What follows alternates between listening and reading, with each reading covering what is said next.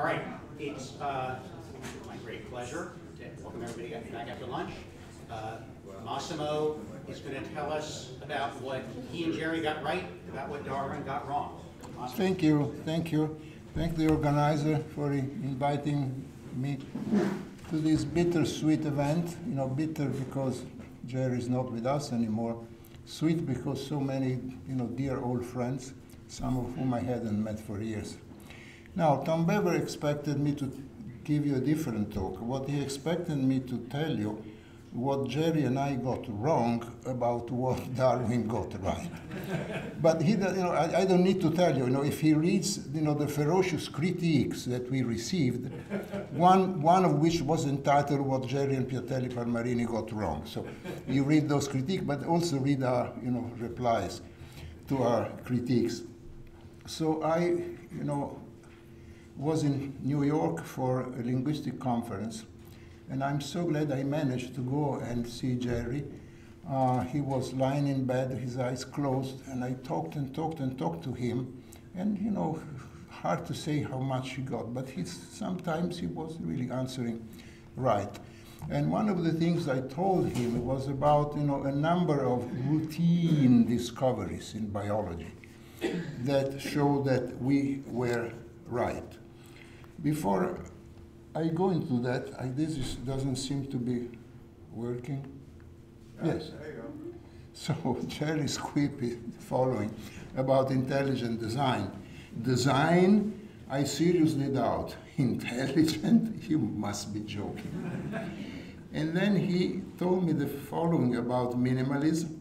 Say, we are used to see Noam pull a rabbit out of a hat, but now he pulls a rabbit out of a hat, then the rabbit disappears, and the hat disappears, and that's a bit too much. Elegant, sure. True, I doubt. he said. Well, then there is a famous joke and an anecdote that he both liked this very much. Years ago, I told him. So the famous joke is the following: the kid answers, you know, his father, "Daddy, how come that all objects, you know, fall to the ground when you drop them?" And the father says, "Because all the objects that tended to fly upwards were, you know, lost by natural selection millions of years ago." the lesson here is when you have physics, you don't need, you don't want natural selection when physics can explain. Now, the anecdote is an old interview with one of the Rockefellers. I think it was David Rockefeller, not sure, one of the Rockefellers. So uh, the interviewer asked him, you know, during the Great Depression, you know, he was a kid, you know, how did you react? He said, well, with, some other kids, we discovered we could buy bags of rotten potatoes for two cents. And in a bag of rotten potatoes, you always find some good potatoes. So we could sell the good potatoes for five cents and buy more bags of rotten potatoes. And so he said, This is how you became a millionaire. No, no. A few years later, my grandfather died, I inherited $10 million. so, you know, here the metaphor is, you know, natural selection is like, you know, the little thing, you know, a little sense. It can, there is such a thing as natural selection. So the form of the beak, the color, you know, this, these sort of things. But if you want, to, you know, to have species developing, then you need $10 billion to be inherited. You need major internal changes in the genome. We will go a little bit into that. So in our book, we wrote, you know, one thing that happens to theories that hang around past their time is that they are nibbled to death by routine findings. There have been so many routine findings. I have selected a few for reason of time. Now, Darwin, in his own words, for natural selection, for natural selection can act only by taking advantage of slight successive variations. She can never take a leap, but must advance by the shortest and slowest steps.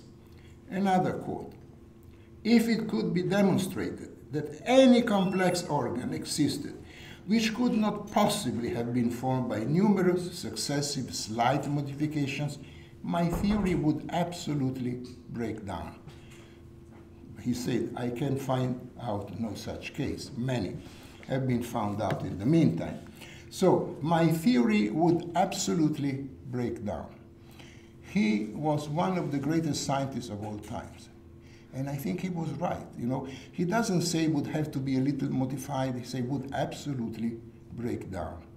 And now there are several examples. So, natural selection, you know, real, of course, marginal in biological evolution, not a factor in the origin of species, Pasha Darwin. So many distinguished evolutionary biologists say this, you know, see all the quotes in our book, because we have been accused, you know, we are not evolutionary biologists, neither Jerry nor I. So the critics say, what do these guys know about evolution? But no, we have a number of quotes for highly distinguished, certified evolutionary biologists that agree with what we say. Routine discoveries, okay. So this is, you know,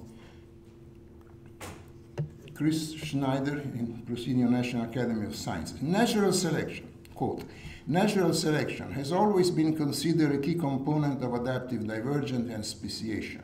But, I stress, the importance of selection has been eclipsed in recent decades by a strong focus on the geography of speciation and on the purely genetic mechanism, that means it's purely genetic mechanism by which reproductive isolation evolves. Further testimony, Eugene Koonin, I select this, you will see a very recent paper by Eugene Koonin on the physics of, of uh, biology. Evolutionary genomic studies show that natural selection is only one of the forces that shape genome evolution and is not quantitatively dominant, whereas non-adaptive processes are much more prominent than previously suspected. We had an exchange with Jerry Coyne. Jerry Coyne is an evolutionary biologist, a staunch neo-Darwinian, who published a book, evolution, Why Evolution is Real. Of course, evolution is real. But then on page three, he says, I will interchangeably use evolution and natural selection. So we disagreed. So he was a critic. So I sent an email to him, say, look, you know, I, I selected the quotes from distinguished evolutionary biologists that say that. His reply was, that's an argument from authority, mm-hmm. like the creationists.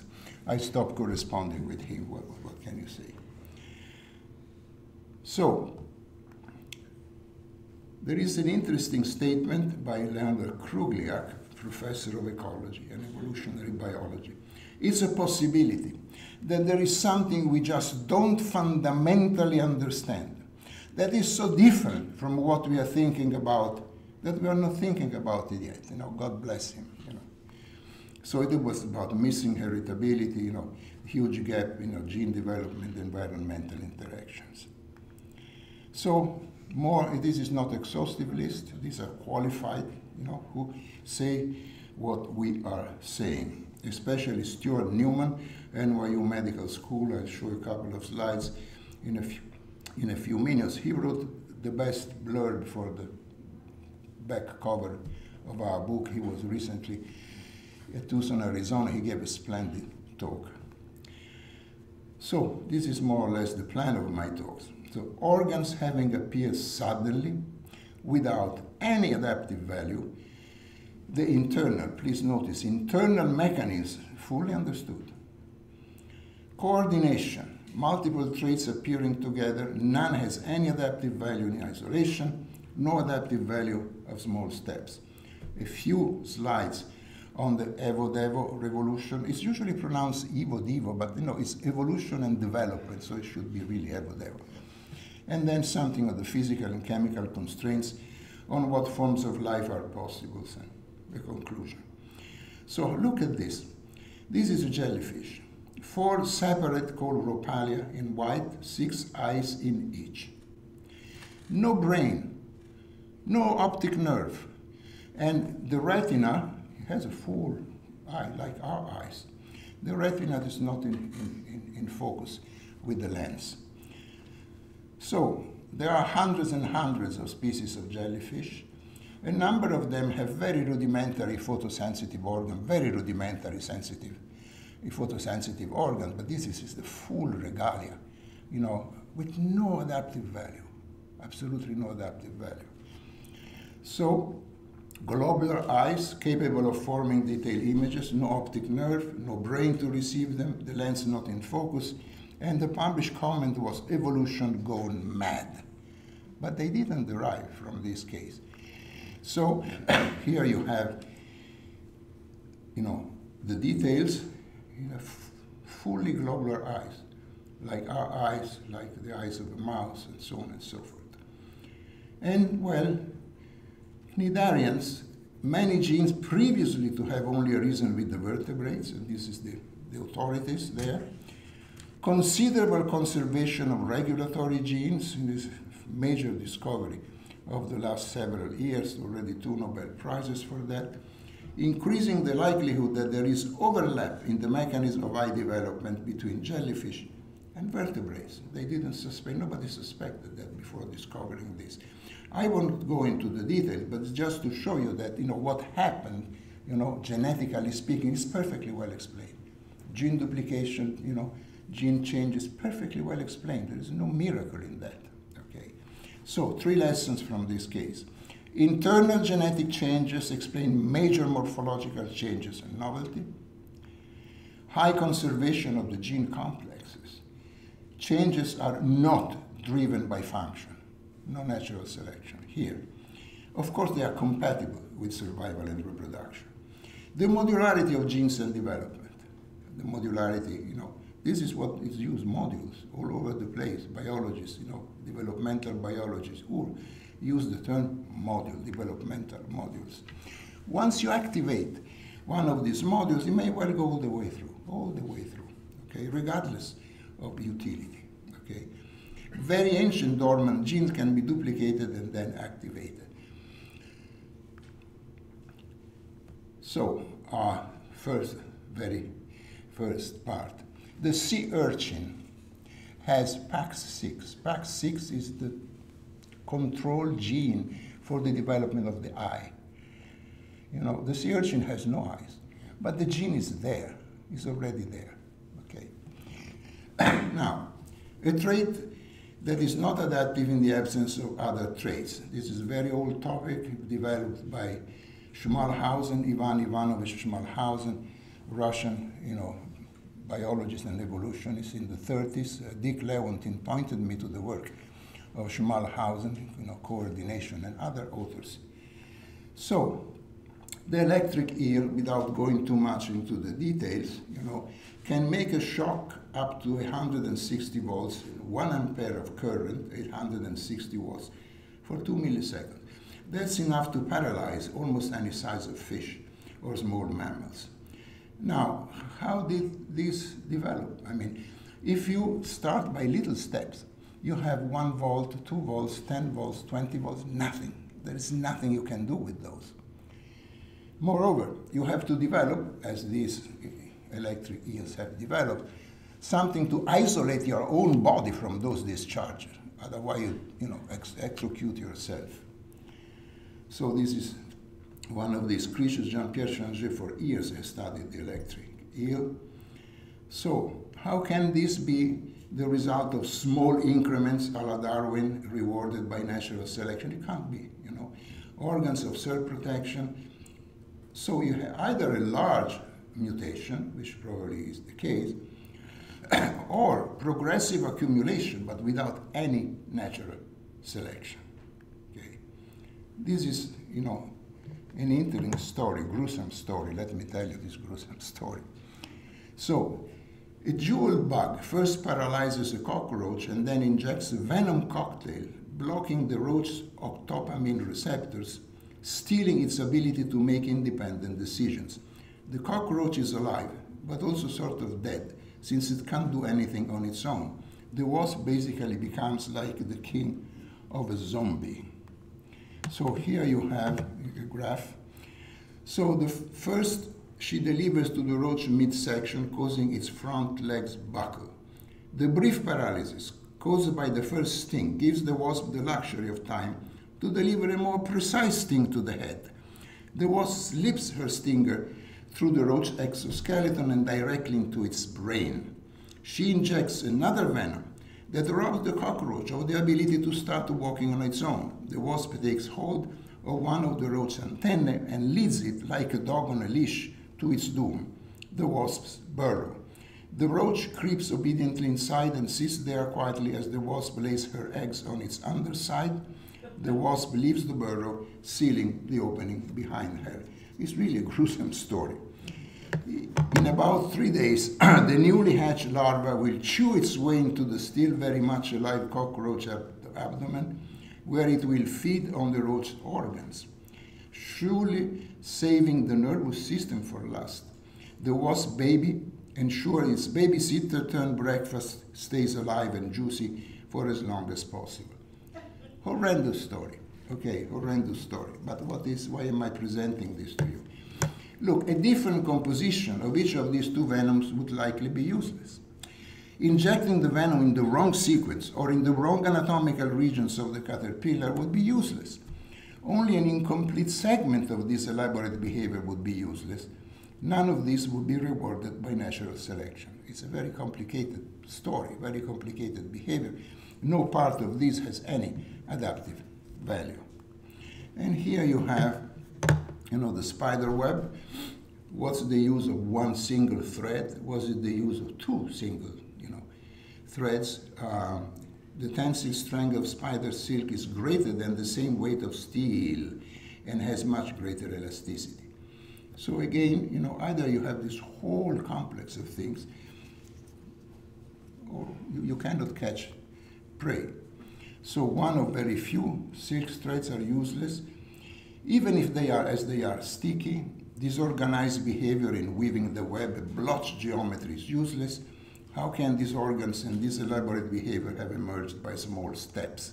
Once more, no reward by natural selection. Okay. Now let me go to you know about 20 years old, really revolution, the Evo, the Evo revolution. So briefly. This is a great motto. Evolution is the evolution of ontogenies. This is the motto of this field. What evolves is not one fertilized ovum to the next fertilized ovum, nor one adult organism to the next adult organism, but the whole trajectory of development. This is why it's evo-devo, okay, or evo-div if you prefer. So these are the key processes. One is heterochrony. It's the same genes, master genes, activated at different times in development, active for different times. Heterotopy, same genes active in different tissues. And heterotypy, same genes having different effects in different interacting tissues. So discrete variation at a finite, rather small number of key points explains major morphological differences. Okay? Stunning and unanticipated, sick, unanticipated gene conservation as a major discovery, Nobel Prize already several years ago. Collinearity, genes being collinear with how they are expressed in the body.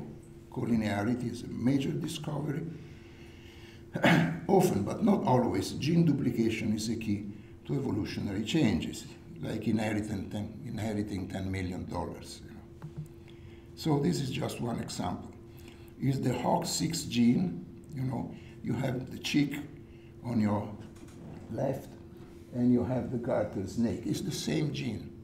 So in the chick, it's active for a lot less time, then it continues to be acting you know, in the garter snake, but it's the same gene, you know, really an example of heterochrony, very, very different, you know, species. This is another nice example due to Alessandro Minelli, my friend, Italian co-author, University of Padua, one of the main authors here. So an easy transformation from orange with two black spots, you see them on the left, to black with six orange spots but no chance at all to move away from orange with seven black spots, even by moving one of the spots by a tiny fraction of an inch, leaving the other spots unchanged. That cannot happen. So he has this metaphor, you know, the Minelli's mates. You see those two points, they are so close, you think you can easily go from one to the other. No, you cannot go from one to the other. You have to go all the way out, you know.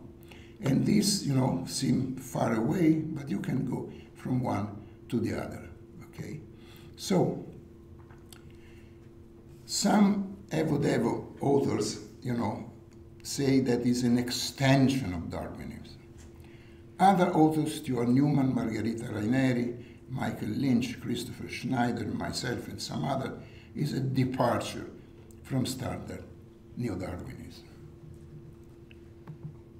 So, superficially different structures can easily morph one into the other, while superficially similar structure can never morph one into the other. So, the real metric of intertransformability may be rather deep. Simple changes in the deep, you know, genetic changes, often bring about major changes on the surface. Okay? Changes may have no effect until a critical threshold is attained. And now, let me go briefly to physics and chemistry and self-organization constraints. minimum energy, maximal fluxes, coordination, and so on and so forth. Drastically conditioning which forms of life are possible at all. It's a long story. I have selected some example. This is one example, you know. So 4,000 living species and the most common fossils found the world over. What you see there, there are two parameters that characterize the helices, and you see the morphospace is basically empty, except for the points that you see there. And you see they correspond to these shapes. The authors explain very well why basically the morphospace is empty, because there are physical constraints on the forms that they can take. I have chosen this because it's the most diffuse kind of fossil on Earth, 4,000 species. So physics constrains what can exist in biology. This is Stuart Newman. A few weeks ago, he gave a beautiful lecture at the University of Arizona. So physical-genetic hypothesis for origination of multicellular forms. so he introduced this notion, dynamical patterning modules, modules, okay, dynamical pattern, DPMs. Body plans and organs form originated and rapidly diversified by the action of these. Definition. DPMs are specific molecules and pathways in association with specific physical forces or physical effects that pattern and shape multicellular aggregates specifics. DPM originated when ancient gene products or derivatives, many of which were present in unicellular ancestors of the metazoans, assume novel physical function due to the change of scale and context in the multicellular state. So here you have dynamic patterning molecules in the inorganic and in the organic world. Very similar, okay? physical molecular processes that generate waves and vortices in non-living liquids, or the crystal structure of minerals. This is another paper just published, just published by a bunch of physicists. So it's a long paper with plenty of equations and all that. I spare you that. So this is a snail-like structure that emerges in a bath, you know, by diffusion of the cytokinin. It's a vegetable cytokinin. It's a very, very elaborate form, purely physico-chemically organized, okay, organized by physics and chemistry.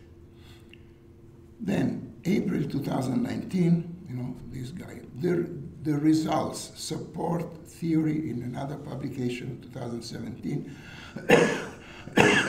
that the genome and its interaction with the environment expressed through the transcriptome, proteome, metabolome, and fluxome dictates a range of physical conditions which lead to the emergence of the many different structures and processes that we associate with living systems.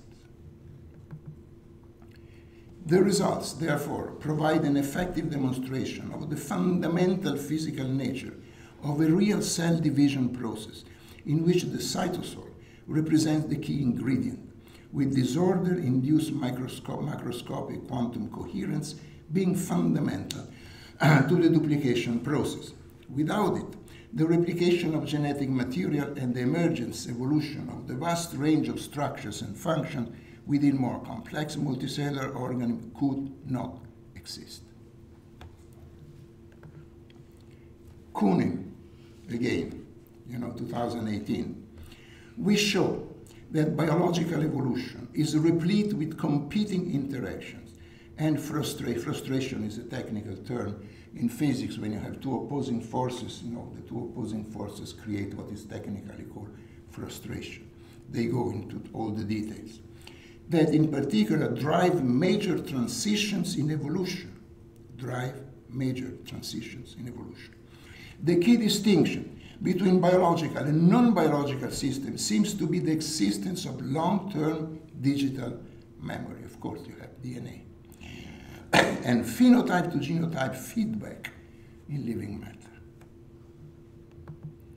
In essence, again, uh, the major evolutionary innovations that are not associated with a change in the level of selection, nevertheless, involve local transition in individuality that is emergence of new complex functions through evolutionary fixation of new interactions between genes. Physics, genes, physics, chemistry, and genes. Now, let me go briefly to the most extraordinary, you know, we had a number of very nasty, you know, reviews. Some were very irritating, and this is not really irritating, it's bizarre. So, at the beginning of their book, they, which is Jerry Fodor and I, proudly claim to be atheists. Sure. Perhaps so. But my suspicion is that, like those scorned Christians, Fodor and Piattelli Palmarini just cannot stomach the idea that humans might just be organisms, no better than the rest of the living world. Where did, where did he get this? We have to be special, superior to other denizens of planet Earth. Where did he get that? Christians are open in their beliefs that humans are special, and explaining them lies beyond the scope of science. I just wish that our authors were a little more open that this is their view too. This is Michael Ruse, a distinguished philosopher of biology. Where did he get that? So, well, look, you know, contemporaries of Darwin were horrified by the idea that we humans are close relatives to the apes. Gee, the apes is nothing. We are close relatives to the fruit fly. You know, there are, you know, Linda Restifo, a distinguished neuroscientist in our university over the years, has studied mental retardation. Now it's called learning disability. Mental retardation is not politically correct. Anyway, she has discovered dozens and dozens of genes in the Drosophila that are orthologs to genes in us. And that mutations in those genes produce in the Drosophila, in the nervous system of the Drosophila, and in the nervous system of humans, very, very, very similar things. So, you know, primates, of course, we are close relative to the primates, of course. But it goes further down, certainly in the mouse, even all the way down to the fruit fly. And we say that. You know, neither Jerry nor I ever thought that humans are special. You know, I don't know Michael where, where he derived this. So there is a lot of bizarre comments on all this. And I think that, well, with this, let me stop and uh, uh, try to answer questions. Thank you.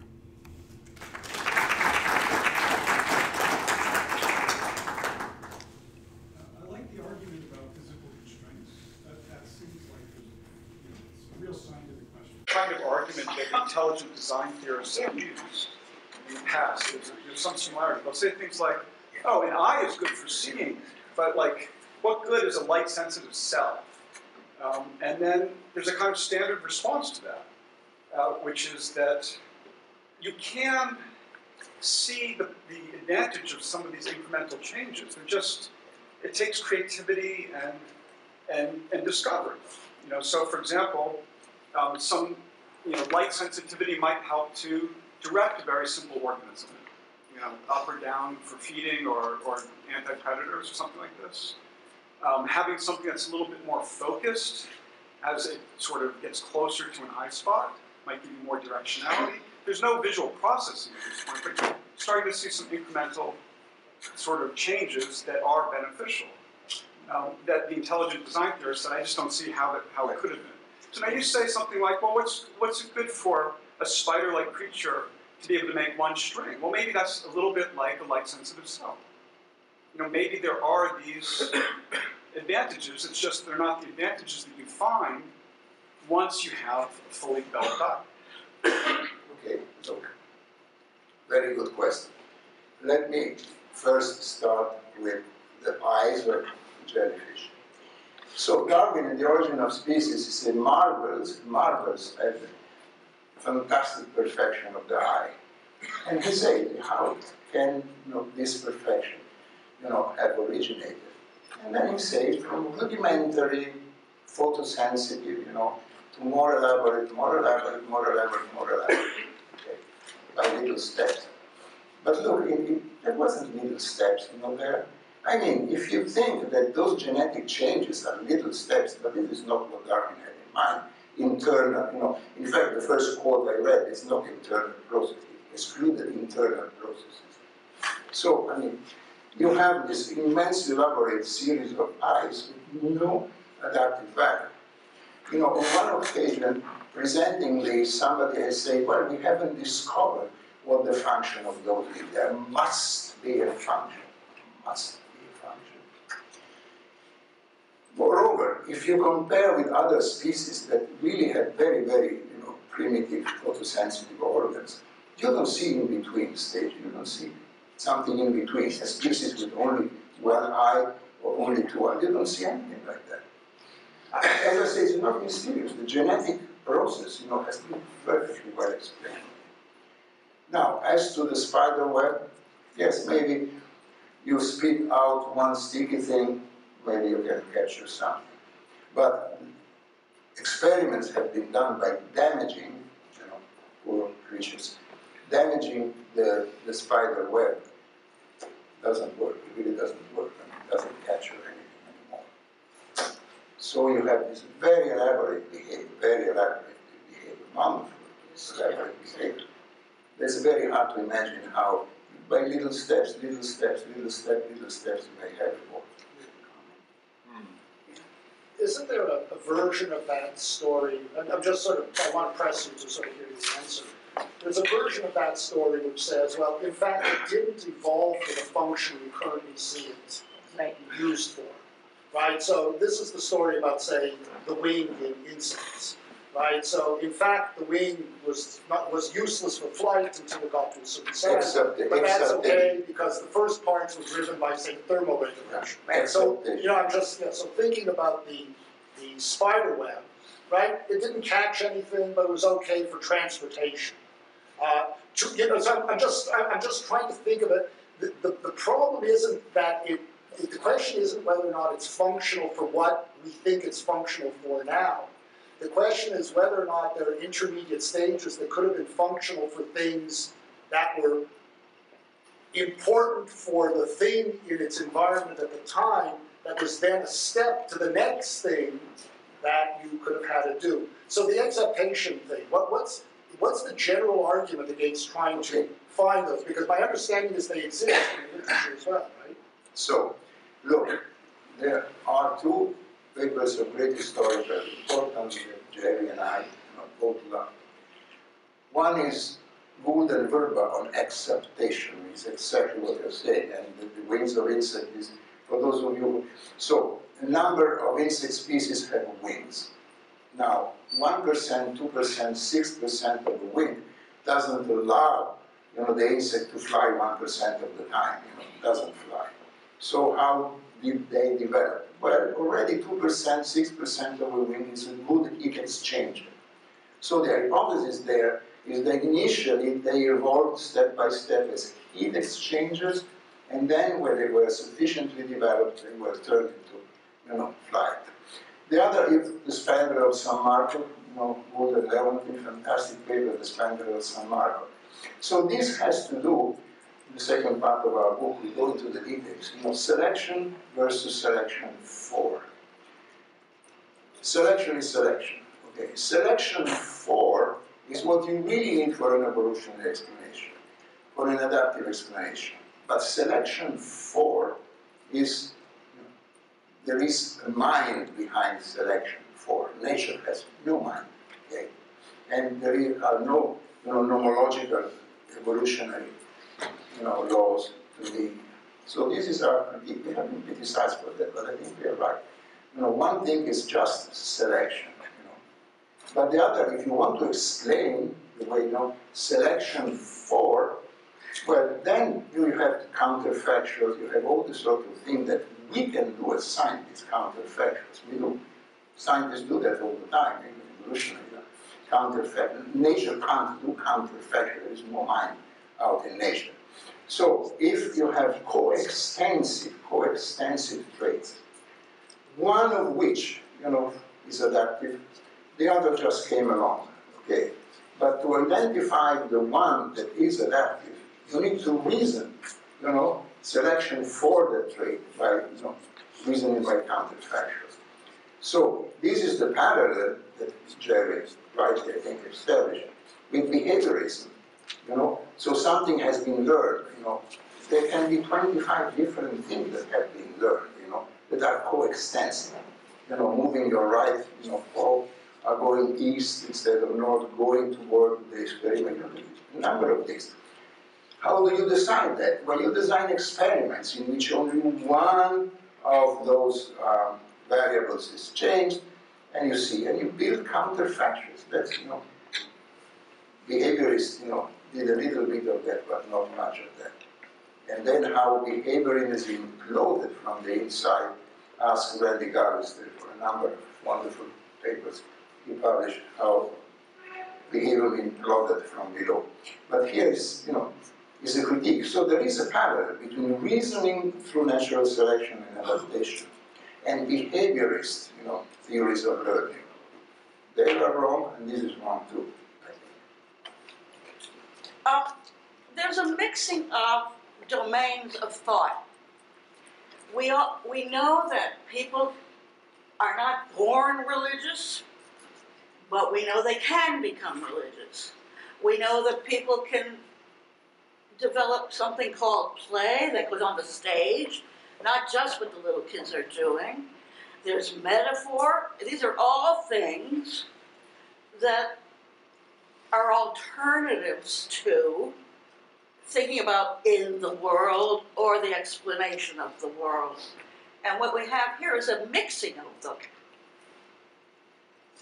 Religion is something that you can import in this argument, but it is a mixing Yes. of our capacity for religion Yes. and science. Yes. And I don't know how much of that goes on, but certainly a great deal. Look, a great deal, especially in Darwinian, you know, Yeah. the neo Darwinian. You know, I, I, I was educated as a neo Darwinian. You know, I really, you know, academically speaking, you know, it was in my mother's milk, my academic mother's milk. You know, I was educated as a neo Darwinian, and then, you know, I started having perplexities. Uh, let me tell you very briefly. So at the Piaget Chomsky famous debate, uh, Oh, yeah. organized.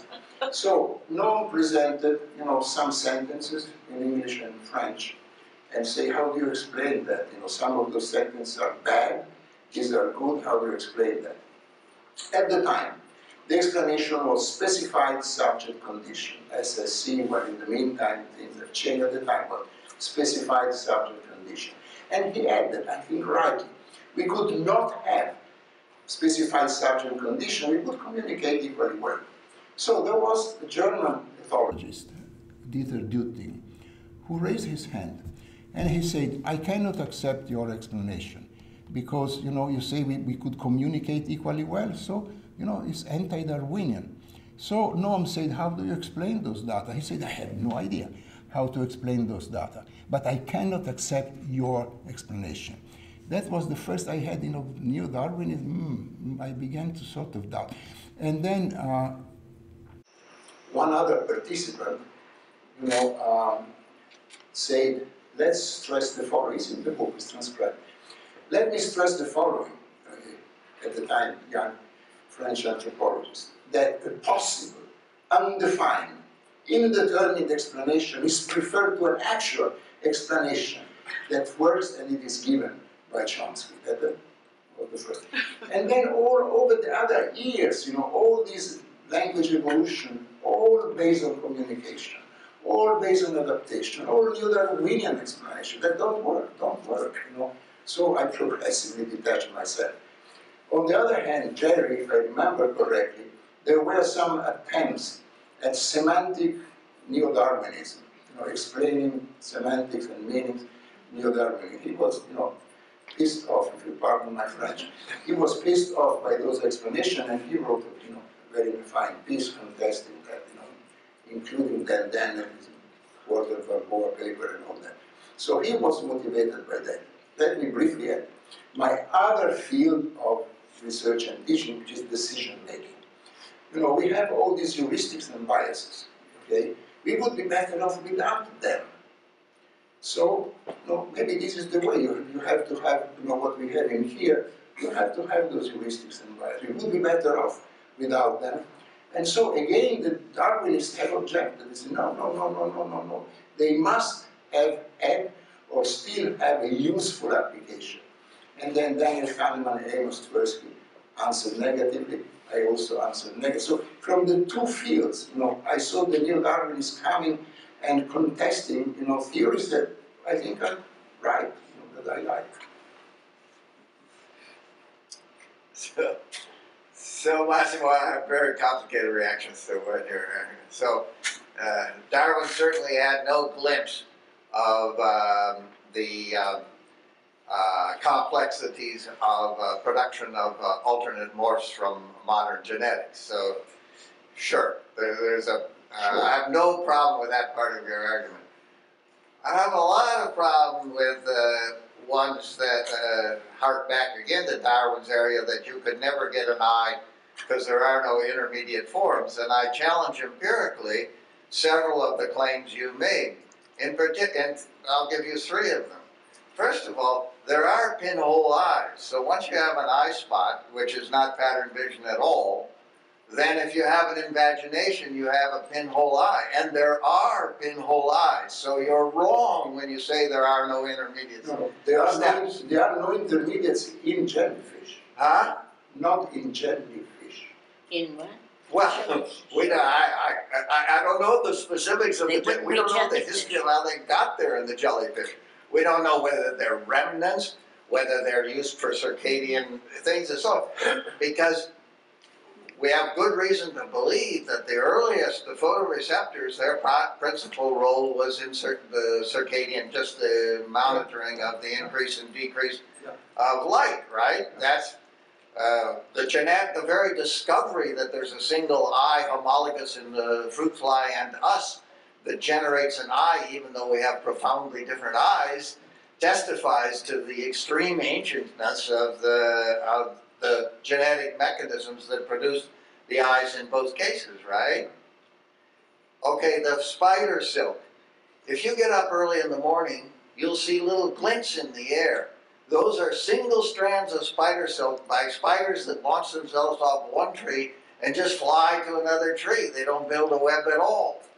The, the uh, silk is just what keeps them elevated in the breeze, right? So now let's turn to the electrical fish, right? You're just wrong that there are no intermediate voltages. There are electrical fish that go all the way down to very low voltages because in cave fish and murky waters, they use this like bats use echolocation, and you get all intermediate versions of the strength of this. So you've got to be more careful about your example. Or echolocation, okay? They don't paralyze prey. No, of course not, but you said there were no intermediate, there was no other, this relates to the exaptation, right? You said there was no other function for low voltage uh, versions of this, and that's just not true. We know other functions, and we know that they are operative. And they involve, among other things, as with the bats, distinguishing between the field that you produce and the distortions of the field that are produced by the external world. So you've got to be more careful. And you, you- the, a, a well-trained biologist in the examples you're bringing with just makes their hair stand on a on end because you're, It's one foot by all. you're making pretty sweeping claims that, that just are not defensible.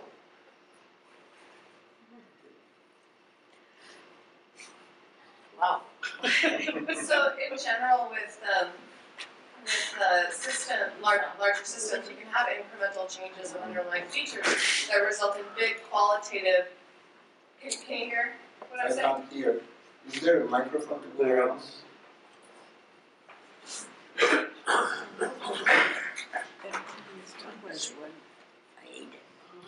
And is this better? Yeah. Okay.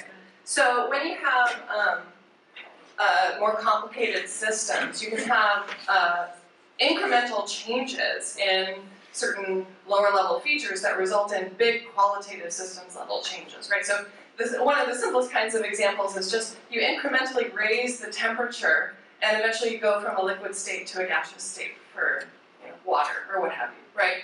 And so um, the question is about your ladybug examples and some, some of the other examples where you point to uh, big qualitative differences at the phenotypic level. But that doesn't show that it's not due to smaller differences at the genotypic level, right? So you could have incremental changes Yes. at the low level. You could have incremental changes that result in these big systems level changes depending on other factors. So I don't see, I, I'm, I, I don't think I said anything against that. In fact, you can consider the genetic changes, you know, duplication of a gene, you know, sort of a small change, and they can have great morphological results. Okay, so, or, or, you know, as, as you've seen, you, you have the same gene, the same Hox gene, which is active over twenty cell division in one species, is active over twenty-five, you know, uh, cell division in another species. You know, these are, if you want, small changes. But I'm insisting, these are internal, these are internal changes that have sometimes major phenotypic effects. well, right, but then there are gonna be many cases where we're not gonna need to tell this incremental story at the phenotypic level that you were asking for. We may not always need to tell that story. Darwin was asking for incremental changes, phenotypic changes. When Darwin, we are not. You know, Darwin was asking for small phenotypic changes, one after the other, and see if this is what he was asking. We are not. So you have this inter- maybe it has internal changes. You know. Uh, so well, another again due to Minelli and collaborators, you have a scolopendra, you know, uh, this long creature with many names. So there are a number of species of scolopendra. They all have an odd number of pairs of legs. All of them, all of them, there are hundreds of them. Not one species has an even number pair of legs. Okay? So they discovered in Brazil what they call Scolopendra duplicata. You know, all of a sudden you have these other species that have doubled, doubled the number of pair of leg, legs, you know, pair of legs than the previous species. You say duplicata, so it's an even number? No, it's still an even number. There is no effective explanation. They couldn't survive and reproduce with an even number of pairs of legs. Of course they could, you know. So there are a number of traits that cannot be explained by natural selection. It's not that we are making unique, humans are unique as this guy claims, you know. Uh, nothing special about humans, all over the place. There are a number of phenotypes that have no, you know, adaptive explanation. Yeah, I've got sort of a different kind of question. To what extent is your target Darwin as opposed to, say, neo-Darwinians? So Darwin could have taken this line that this woman was explaining, says, well, he just didn't have the distinction between genome, genotype and phenotype. That came after he died. So he could have given that. Here's, here's the question, again. Are you going after Darwin or, say, the neo-Darwinians? Both. Both. Okay. But, you know, you couldn't have the title, what the Neo Darwin and the Neo Darwin, you okay. But Okay, but so for one thing, Darwin wasn't a pan-selectionist, as I understand it. So, you know, over the course of his, from the first edition of the Origin to the sixth, he was vexed by problems with the age of the Earth. And it looks as though there were thermodynamic arguments that suggested that the Earth could be only like 10 million years old, And so it looked like there was not enough time for natural selection, so we began to flirt with uh, inheritance of acquired characteristics. So in insofar as you are, are challenging sort of pan-selectionism, well, Darwin would have bought that.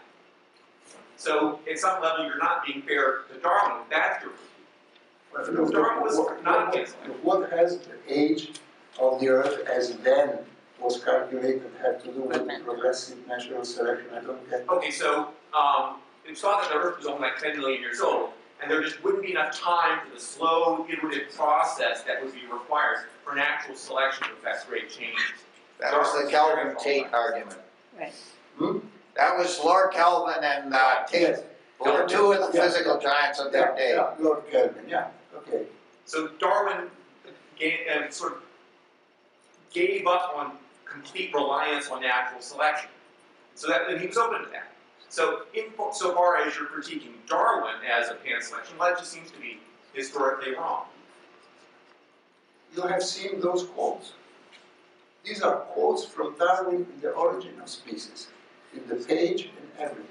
If any organ could exist, blah, blah, blah, my theory would absolutely collapse. Isn't what they absolutely collapse? This is what they say, and it was, as I say, one of the greatest scientists of all times, you know, let's make no mistake, you know. So we wouldn't hear, we wouldn't be, you know, discussing this without Darwin. But that probably was a rhetorical flourish, right? Rhetorical? Yeah. I see why you had an answer. Well, okay, look, so something you don't like there, he says rhetorical. What you like is scientific, come on. Maybe Darwin was just wrong. When he Maybe said, Darwin was, Or maybe Wrong in when he said early that. days. in other words, so?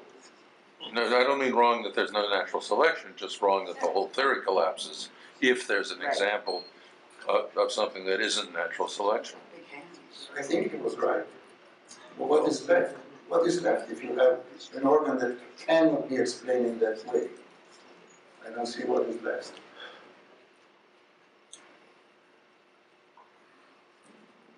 Okay, Can you re- recapitulate the argument, the other argument, which one? the one in the other part of the book, about whether natural selection is a, is a model in any case? Mm-hmm. Well, in the other part of the book, That's the part that Jerry wrote, right? Yes, mostly, yes. So, in that part of the book is the distinction between selection and selection for, right? So, selection four we have in artificial selection, we have a very good example, okay? Because you can ask people who make, you know, selection four. you know, you have artificial breeders. And one thing that we describe in our book, which is the case, when you domesticate very different species, you know, you know that, there is a number of other traits that come together. So in that case, you know what you have selected for. You know, wool, you know, better wool, more milk, you know, whatever, you name it, you know, greater muscular strength. And then you have floppy ears and, you know, strange colors and then the long, long reproductive cycle and so on and so forth in all species, you know, from chicken all the way to dogs and so on and so forth.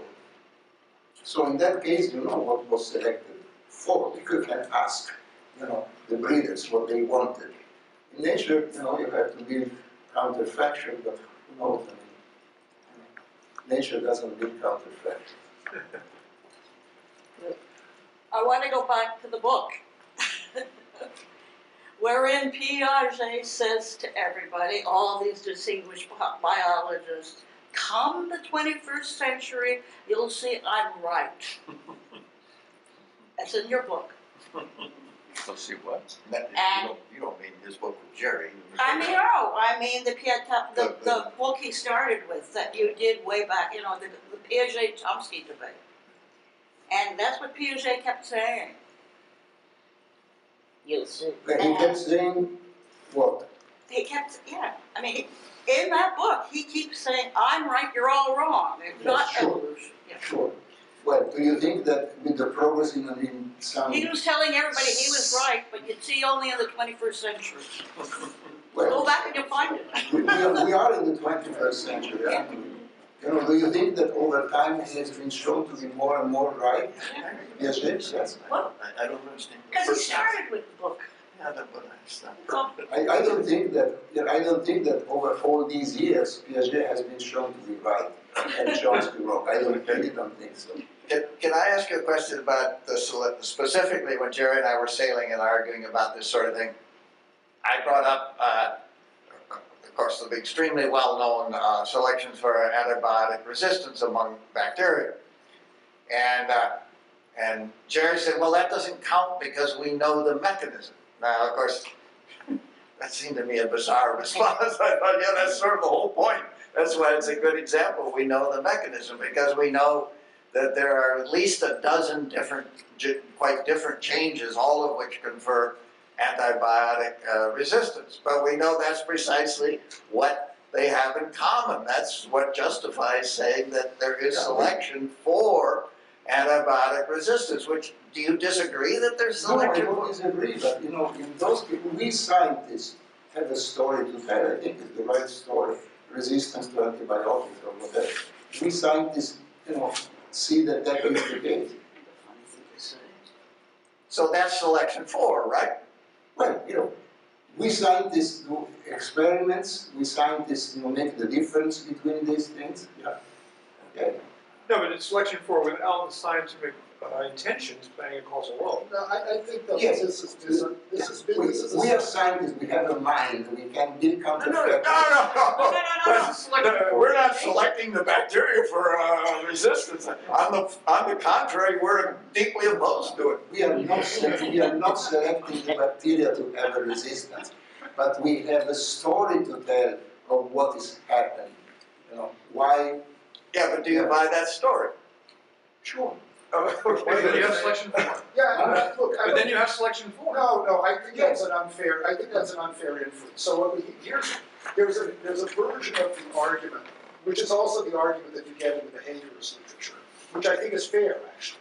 So there's one argument that says there's never any kind of inductive learning or inductive inference or so, or I'll call it shaping by the environment for the Yeah. outcome, right? There's one law. And so, and so the argument between Chomsky and Skinner is not whether it exists, but whether it exists as the form, as the basic primitive that explains the emergence of, I'll call it, interesting structure. Ah, well, I got Okay, no, one minute, one minute. No, he's arguing there's no selection for at all. No, no, Let him so here's my, here's what I think they, what, what, what they meant by there's no selection for.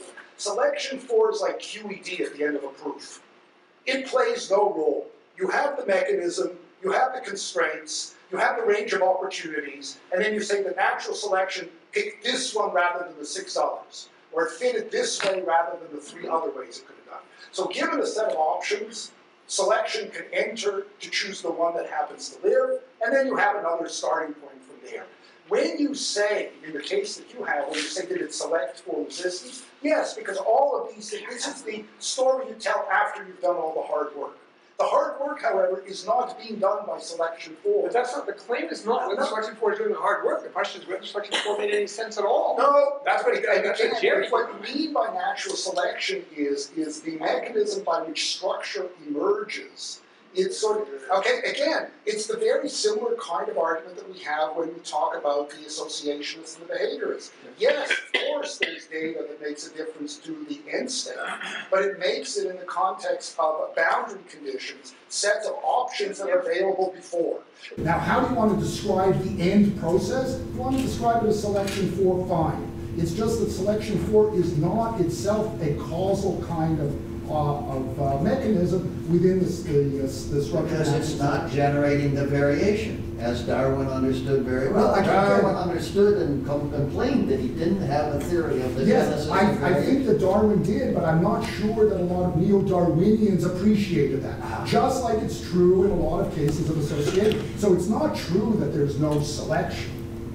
But it's selection within a set, set of constraints that are, that are there pre And now, how do you want to look back and describe it? Okay, this was selected for. Okay, I that- think it's a fair. There is another hand out there. So I remember arguing with um, Jerry about this because it seemed to me that by Jerry's own lights, there was a way of getting a perfectly non-intentional with an S notion selection for. And that is to identify the causally relevant properties. So in, in, you know, the examples of so, uh, for example, where you've got, set up, you've got balls running down a, um, a chute and there's some kind of a geometric, uh, tunnels and the triangular ones, or the round ones go through and the square ones stop. Now, all you have to do is say, well, what, what explains the variance between the ones that got through and the ones that got stopped? Well, their shape. So that's a, I mean, that wouldn't be all there would be to, in general, telling what properties were causally relevant. But the question, what are the causally relevant properties, where the explanandum is uh, changes in the distribution of, of uh, phenotypes among the population. Um, that question seems to me to be um, perfectly objective, not subject relative, not, not dependent on a particular way of representing the situation or anything like that. And Jerry himself makes appeal in earlier work where he wants to um, defend the autonomy of the mental. He wants to argue, or he did argue, that uh, there are cases where it's the mental property that you have to appeal to as causally relevant in order to explain the phenomena. Yeah. And I just didn't understand why you Well, look, look, look, so- four out of causally relevant.